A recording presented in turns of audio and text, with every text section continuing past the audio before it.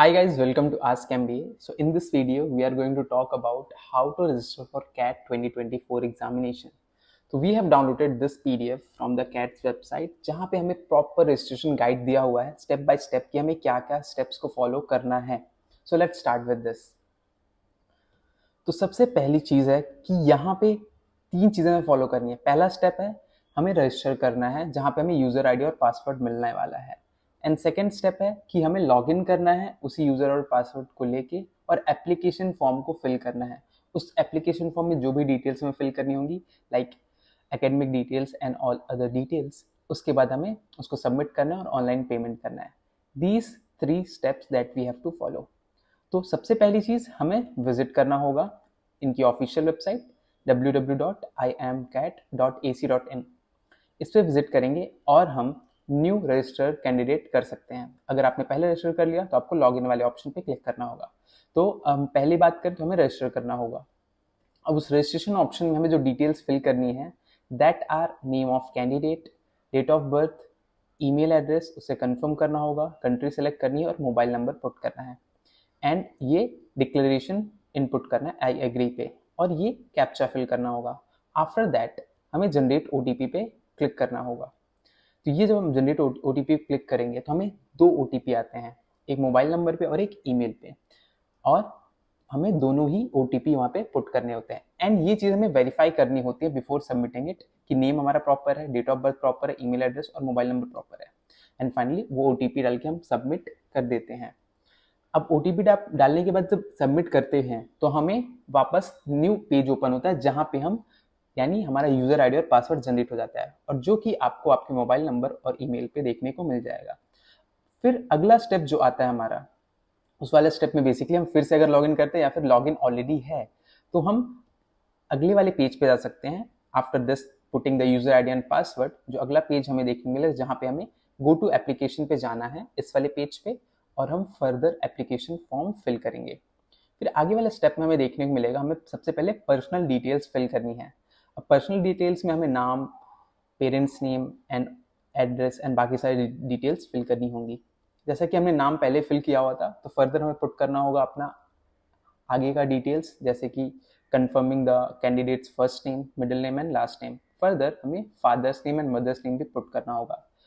And further अगर हम बात करते हैं, जैसे कि date of birth already fill किया हुआ था तो हमें यहाँ पे अभी gender nationality and category that is the important thing यार. कैटेगरी में आते ही दिक्कत आती है कि स्टूडेंट्स हमने अभी तक ये बनाया नहीं है सर्टिफिकेट एंड ऑल वो सारी चीज़ें. तो इंपॉर्टेंट पार्ट ये है if we are filling the form then we have to have that certificate handy with us क्योंकि हमें यहाँ पे उसको सबमिट करना इंपॉर्टेंट है. If you are belonging to any of the category तो आपके पास उसका सर्टिफिकेट होना ज़रूरी है. एंड अगर आपने यहाँ पे जनरल कैटेगरी पुट किया है तो आपको कोई सर्टिफिकेट अपलोड करने की ज़रूरत नहीं है। बट अगर आप कोई भी कैटेगरी सेलेक्ट करते हैं then we have to upload that category certificate ठीक है? तो वो वहाँ पे फिल करना ज़रूरी है। ठीक है? अगर आपने ओबीसी कैटेगरी सेलेक्ट किया होगा तो आपको उस कास्ट और ट्राइब का नेम इन एन की वेबसाइट पे जाके वहाँ पे सेलेक्ट करके वहाँ पे डालना होगा। ठीक है? तो ये चीज़ें फिल करने के बाद हमें यहाँ पे अगले वाले आगे एड्रेस फिल करना है। हमें यहाँ पे alternate email address and alternate mobile number भी फिल करना होगा। And the documents that we have we have to upload is passport size photo and signature as well as if you are belonging to any of these categories तो हमें ये certificate fill करना upload करना ज़रूरी है। As well as अगर आप P W D candidate हैं तो आपको वो सर्टिफिकेट भी अपलोड करना ज़रूरी होगा। तो एज यू कैन सी हमें ये फिल करना है दैट पासपोर्ट साइज़ फ़ोटो और हमारा सिग्नेचर और थर्ड थिंग जैसे कि मैंने बताया, आपको यहाँ पे scan document of your certificate caste certificate भी अपलोड करना होगा। एंड इस स्टेप के बाद, अगले वाले स्टेप में हमें एकेडमिक डिटेल्स फिल करनी होंगी। अब एकेडमिक डिटेल्स में हमें क्या फिल करना होगा? टेंथ ट्वेल्थ का मार्क्स बैचलर्स का, अगर हमने मास्टर्स किया है तो वो भी हम फिल करना होगा और अगर हमने कोई प्रोफेशनल डिग्री भी की है like C N all that thing तो वो भी हमें डिटेल्स फिल करनी होंगी। तो as we can move on and we can see yes on this slide as we can see tenth के डिटेल्स अपलोड करने होंगे लाइक like हम कौन से बोर्ड से बिलोंग करते हैं, कौन से ईयर में कंप्लीशन हुआ है मैक्सिमम मार्क्स कितना है टोटल मार्क्स एंड कितना में मिला हुआ है, और परसेंटेज कितना हमें मिला है। सिमिलर वे में हमें ट्वेल्थ का भी डिटेल्स फिल करना होगा एंड फर्दर आगे बढ़ते हैं बैचलर्स डिग्री के लिए। तो यहाँ पे एक डाउट आता है कि, सर, अभी तो मेरा डिग्री चल रहा है और किसी किसी का हो गया है। जिनका हो चुका है तो हमें ये क्या फिल करना है? Are you in the final year of bachelor's degree अगर आप हैं तो आपको यहाँ पे येस से फिल करना है। अगर आप पास हो चुके तो आपको नो पे फिल करना है।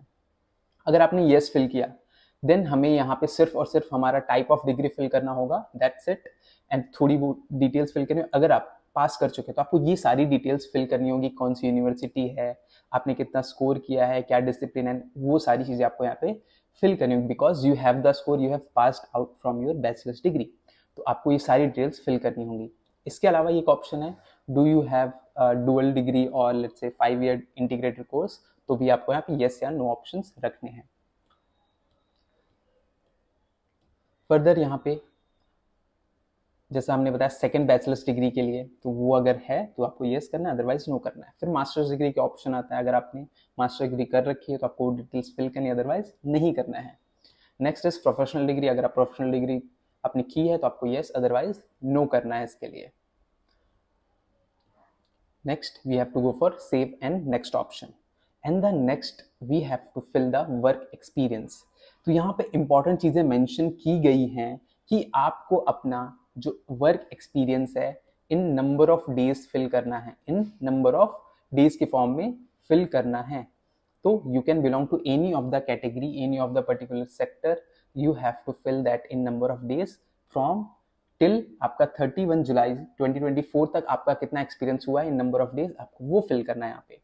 And as well as only full time experience after the graduation must be entered आपका पार्ट टाइम जॉब यहाँ पे मैटर नहीं करता, आपका इंटर्नशिप यहाँ पे कुछ भी काउंट नहीं होता है। Only full time work experience after the graduation वही काउंट किया जाएगा।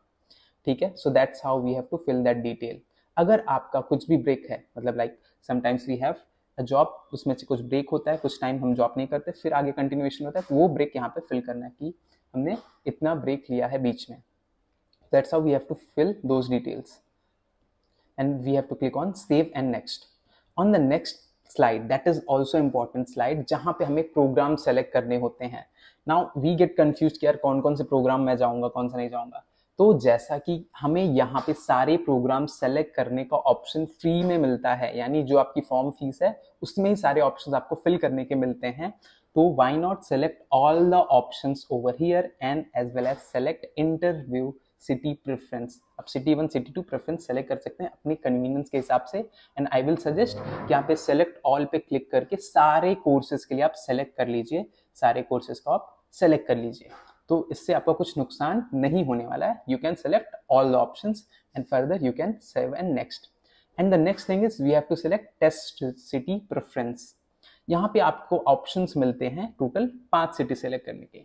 तो I will suggest city one city two city three city four city five में अकॉर्डिंगली जो सिटी आपके करीब है, वो पहले ऑप्शन में आएगी, जो थोड़ा और करीब है, उस हिसाब से आप वन बाई वन सिटी का प्रेफरेंस लेते जाएँगे। Like for example you can select Mumbai Navi Mumbai Thane और like that accordingly the location you belong to ठीक है? उस तरीके से आप यहाँ पे लोकेशन आप सेलेक्ट करेंगे। तो सबसे करीब हो, सबसे पहले सिटी वन पे आएगा। फिर उससे थोड़ा दूर वाला सिटी टू पे, उससे थोड़ा दूर वाला सिटी थ्री पे। That is how you can arrange it और अब जितनी जल्दी फॉर्म फिल करेंगे that's how you can get your preferred city ज़्यादा से ज़्यादा चांसेस होंगे। Next the next thing is हमें डिक्लेरेशन जो दिया जा रहा है, उसमें बताया जा रहा है कि हमारा फ़ीस कितना है twenty five hundred for the general general category अगर आप S C S T P W category belong करते हैं then twelve fifty is the fees अब ये पेमेंट करेंगे और ये डिक्लेरेशन हमें सेलेक्ट करना होगा पेमेंट करने के बाद। So that is how we can fill this thing ठीक है? ये पेमेंट कंफर्म करने के बाद हमें ये डिक्लेरेशन पे क्लिक करना होगा और सबमिट करना होगा after filling this captcha so this is the overall procedure to fill this form ठीक है? And after this submitting you can download the pdf of this application form and that is how you have completed your registration for CAT 2024 that's it guys that's it in the in this video if you have any doubt any query please get in touch with us. Thank you